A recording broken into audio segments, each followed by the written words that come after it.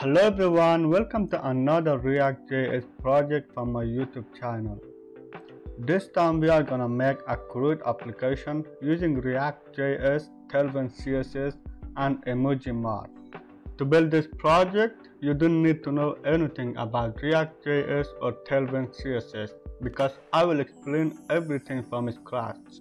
In this project, we will work on React.js hooks, props and state and for styling I will use Tailwind CSS which is one of the most popular CSS library and more easy to work with.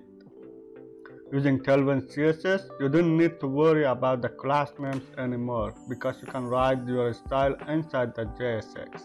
So before we start making this project I would like to show you a demo of the project.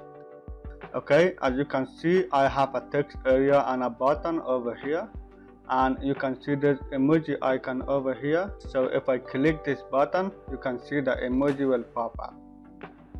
Alright now if I write inside the text area with the emoji and click this button you can see I will have a new to-do list with an updated time over here. I can add more text.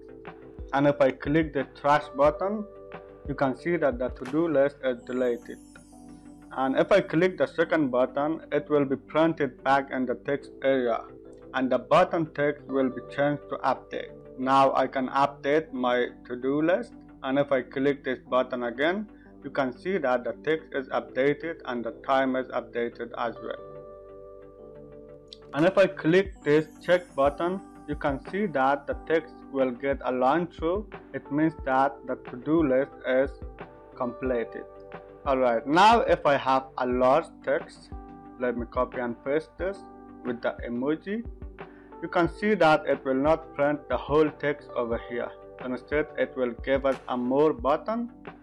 And if I click this more button, you can see that the whole text will be printed in a new component. I can close this component using this button. And finally, if I refresh the page, you can see that the data is still in the browser. That is because I have stored them in the local storage. Alright, that's what we are gonna build in this project. So see you in the next video.